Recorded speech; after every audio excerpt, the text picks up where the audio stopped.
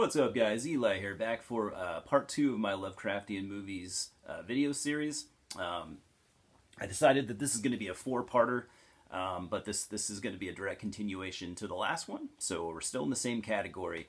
Um, we're still talking about movies that are the kind of range from most people consider these most most people that are into this shit consider all of these to be Lovecraftian movies. Um, my opinion is some of them some of them yes I think are, are sort of obvious, and then some of them I think it's a little bit of a reach. But that's um, that's like my opinion, man. But anyways, we're gonna start off with Citadel. Citadel is a cool Irish movie from 2012, um, and I haven't seen a ton of Irish movies if I'm being honest. Um, I do. There are a few that I really like, but I'm sure I'm missing out on a bunch. So if I have any Irish viewers, uh, clue me in. Anyways, so uh, in this movie, in the Citadel, the main character's uh, pregnant wife uh, is murdered by this mysterious cult, uh, who later come back and uh, they seem to want his child. They seem to show some interest in her. So obviously, yes, the baby lives. the woman does not. It is. It's it's pretty it's pretty brutal and it's brutally fucking sad as well. Um, so there seem to be some supernatural elements here. Um, there's this mysterious abandoned building in their town called the Citadel, uh, where the cult uh, seem to come from. Though it is uh, it is set in modern times, um, the super bleak atmosphere um, is also part of where the Lovecraftian vibes come in for me. Um, it, it almost looks post-apocalyptic due to the settings, which I think is kind of also a, a kind of in its own way addressing extreme poverty. So I think that's a theme here.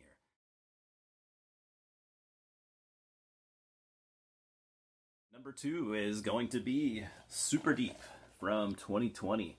Uh, Super Deep is a Russian movie, um, one of the one of the newer ones, if not the newest movie on this list. Um, now I consider this uh, I consider this movie on this list, I consider it to be a little bit of a stretch, but some people some people see it, um, some people may not. But uh, where you're seeing the Lovecraftian elements, I think other than other than the monsters, the monsters are very kind of uh, John Carpenter esque, um, kind of reminding a lot of people of The Thing, which might be you know why it makes this list.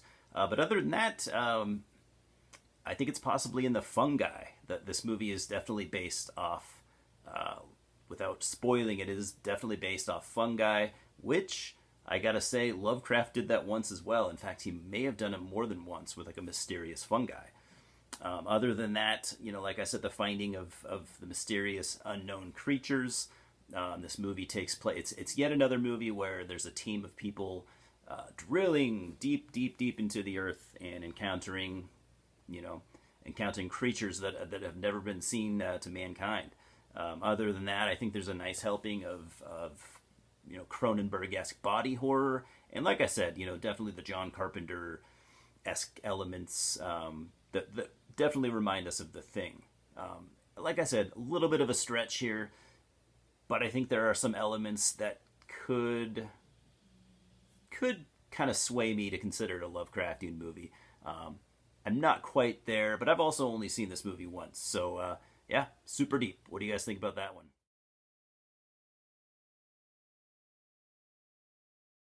Number three is going to be Pan's Labyrinth from 2006.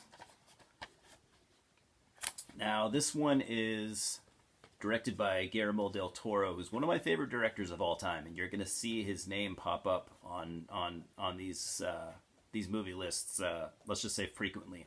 Um, Guillermo del Toro is uh, very he's a very big Lovecraft fan. Out of out of all the you know the famous you know movie directors, he is one of if not the most um, uh, inspired by Lovecraft. He talks about it all the time in interviews, and it, it shows in his films whether it's intentional or not. Um, he's done movies where he, uses blatant Lovecraft references, and some where he doesn't. But I feel like even the ones where he doesn't use blatant Lovecraft references, you know, the the influence is still very much there. Um, such is the case with with Pan's Labyrinth. Um, this movie is considered to be a classic by many many people, and I would highly agree with that. It is a fantastic movie. Uh, it is a Spanish film. Um, it's just it's beautifully done. It's beautifully acted. It's beautifully written. Uh, and this is commonly referred to as one of the more Lovecraftian movies of all time. But I do, I kind of disagree with that. Um, I mean, most, if not all, of Del Toro's movies have some underlying Lovecraft influence, but sometimes it comes to the surface uh, more than it does in others. Um, the mystical realm here in this movie uh, does seem like something Lovecraft could have came up with, but I mean, he didn't. Um, what uh, what I like most about this movie, other than just the movie, I, what, probably what I like most about it was what I like most about most of uh, Guillermo del Toro's movies is the creatures.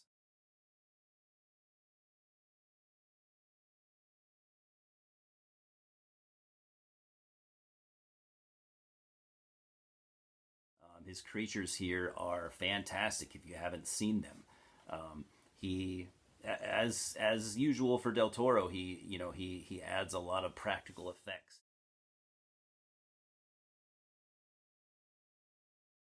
Four, we're going to be talking about Cronos from 1993, another Guillermo del Toro movie and another Spanish movie, um, much like his earlier work. Um, now, this is essentially a vampire story, and to to my knowledge, if I remember correctly, I don't think Lovecraft ever did anything with vampires. But had he, you know, if he did, it would have probably felt something like this. Um, I would uh, go as far as to say that this movie is a bit more Lovecraftian than Pan's Labyrinth um, in the storyline itself. Um, I, I, would say H.P. Lovecraft's Cool Air short story is uh, surely an influence here. So yeah, Cronos from 1993, number four.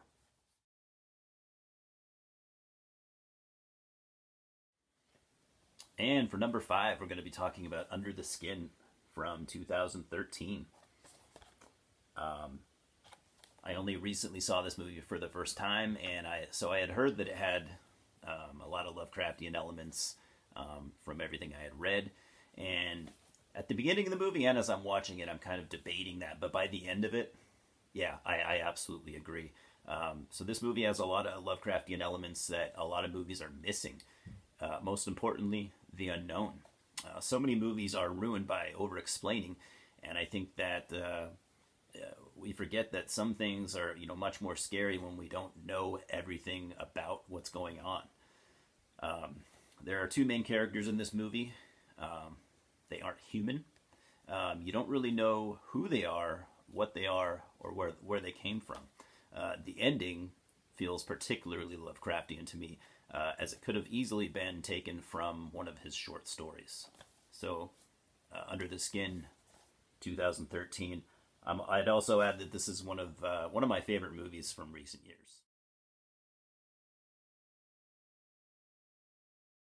Number six, we have the uh, highly anticipated Mandy from 2018, uh, directed by Cosmos Panatos, who has already made an appearance in uh, the first video that I did. Um, so yeah, like a lot of these, uh, like all these movies, um, a lot of people consider Mandy to have a very Lovecraftian feel. Um, and after watching it a couple times, I would definitely have to agree. Um, so this is the second movie directed by Cosmos Panatos. Um, his first one was Beyond the Black Rainbow. Like I said, I talked about it already. Um, so we might be onto something here.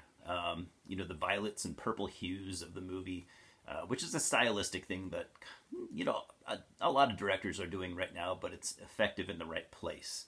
Um, I, I, feel like those colors alone, uh, in their own way, give me a, a Lovecraftian vibe.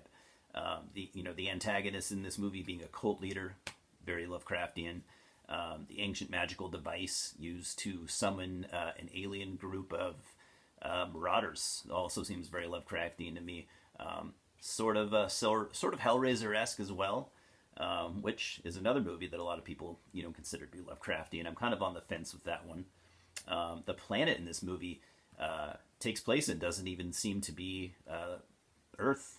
Um, uh, it has two moons, which is uh, you know gives it gives it a you know kind of out of this world feel, kind of alien. Um, it almost uh, it almost seems like it's an alternate reality because some things you see do you know are things that you would see on Earth, and some things aren't. Um, the ending, the ending of the movie with the main character, you know, Nick Cage possibly slipping into insanity. Definitely a Lovecraftian theme. So put that all together. Um, I feel like you have, uh, yeah, a very Lovecraftian movie in Mandy from 2018.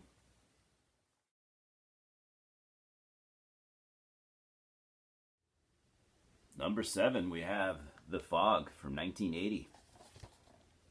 All right, John Carpenter, of course. The Fog, uh, so though considered some, uh, considered by some to have some Lovecraftian atmosphere, um, I kind of have to disagree. I mean, it almost does, and in a way it does, but this movie just gives away too much.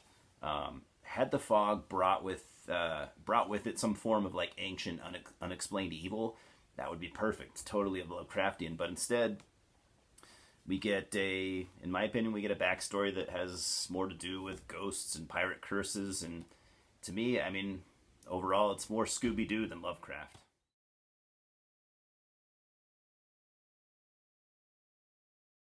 Number eight, we have Dead and Buried from 1981. So writer Dan O'Bannon actually stated uh, on this one that he was actually, uh, he confirms actually being influenced by Lovecraft, uh, which is kind of a rarity uh, as far as I know. Um, so yeah, in this movie you got um, the Lovecraftian elements kind of come to place in a uh, mysterious town where people are murdered, and then after that they kind of reappear uh, as townfolk after that, just walking around, you know, you know, doing things like the rest of the villagers or whatever. Um, you can almost call this a zombie movie, but it, it, it evades a lot of the zombie tropes. Um, so for that reason, um, a lot of people don't consider it a zombie movie. Yet it, it, kind of is. To me, it's it's it's a clever take on the zombie genre, but um, there is definitely a, uh, a mysterious kind of macabre uh, theme going to it that separates it from all other zombie movies, and I definitely would say it has an unnerving uh, Lovecraftian atmosphere.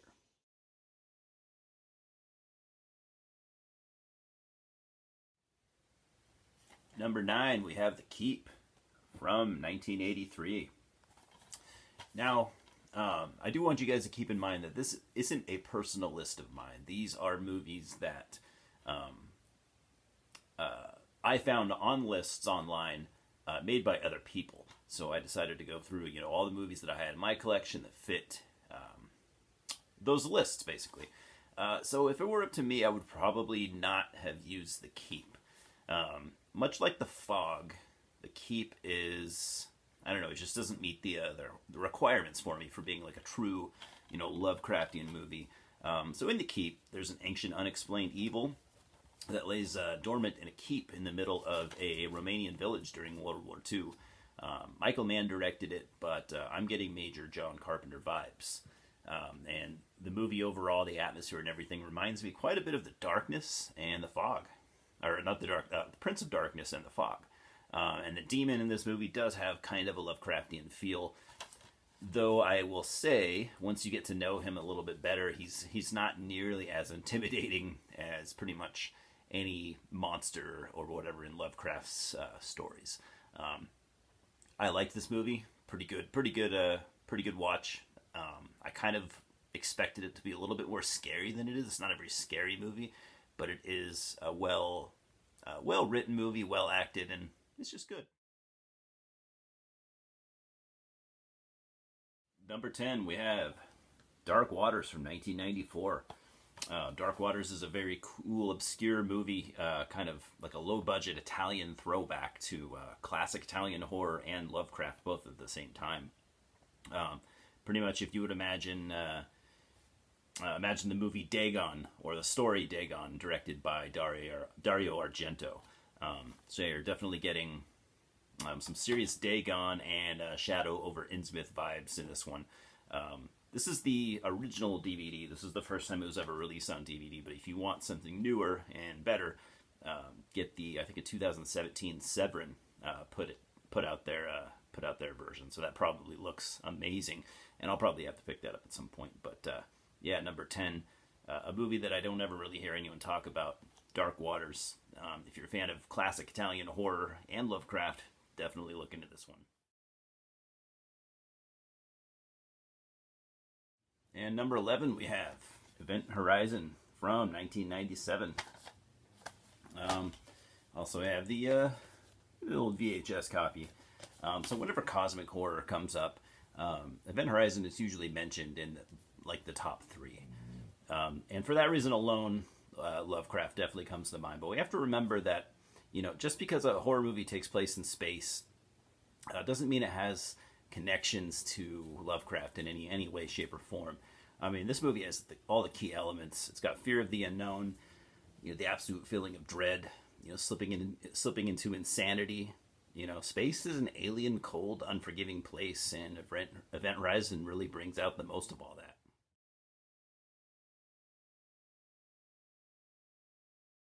And number 12, we have The Endless from 2017. This movie is a little bit new to me. I only uh, I only got it maybe uh, sometime last year, and I've only watched it once. Um, this is a very cool movie, and the two directors here are definitely on my radar. I feel like they have a ton of potential. Um, and and and the, though I've only watched this once, it is a, it's a pretty heady movie, and it needs at least two or three watches to really um, to really break it down. Um, so I'm working on that. Um, so this movie does have a Lovecraftian feel while keeping it kind of more in the sci-fi realm. Um, that said, the horror elements are always lingering in the distance. The feel of impending doom is always near, and the fact that whatever the threat here is, we never really get to find out what it is, or if anyone in the movie even really knows what it is. Um, all that combined with a religious cult uh, give people all the reasons they need to call this a Lovecraftian movie.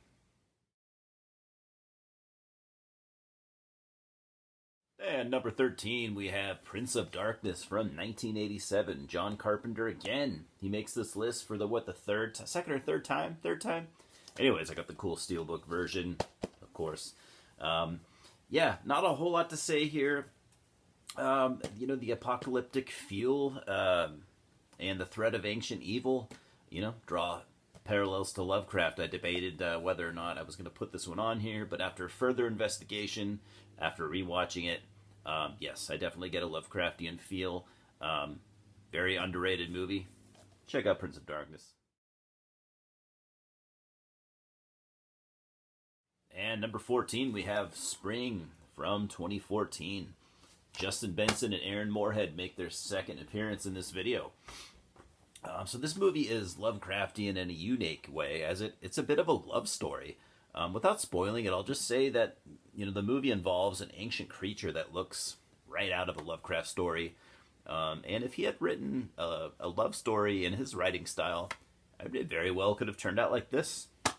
Um, I've only watched it once, but I, I really, I absolutely love this movie. It's honestly one of my favorite movies in recent years. So yeah, check out Spring.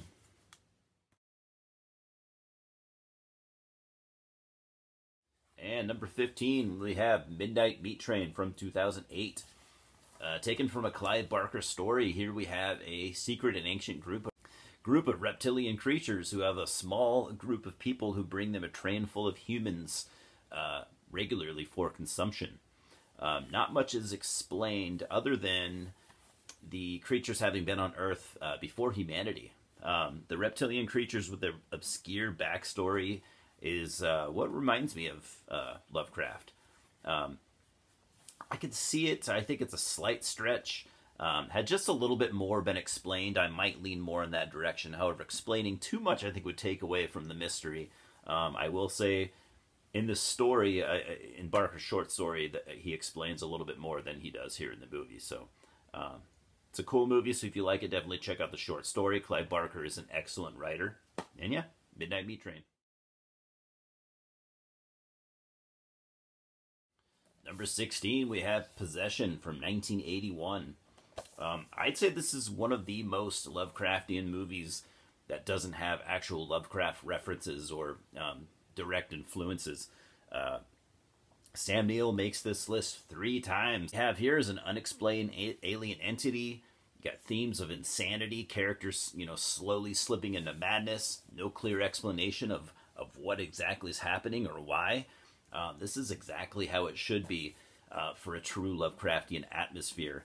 Um, there are a lot of sexual themes here, though, which I think would have maybe made H.P. Um, Lovecraft himself a little bit uncomfortable. But uh, other than that, um, this movie is a must see for Lovecraft fans. Possession, check it out.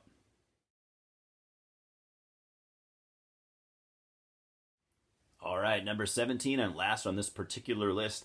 Uh, I'm going to throw you guys a little bit of a curveball, and I'm going to go for Rick and Morty. I, I grabbed season two, not sure why. But, anyways, um, so as uh, as Rick and, For- Rick and Morty fans know, Cthulhu has appeared in the opening credits of, of, of every single Rick and Morty episode from you know starting from day one. I would think I think some Cthulhu myth- mythos elements would be really perfect for the show, as it is a very sci-fi based uh, sci-fi based cartoon, um, and it crosses over constantly into horror.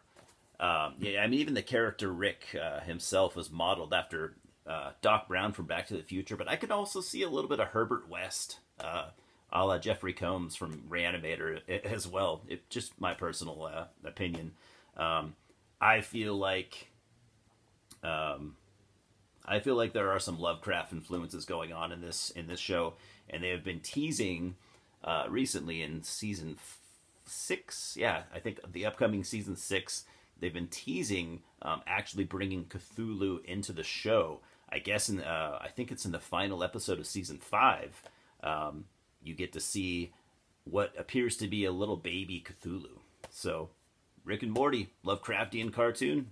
I think so.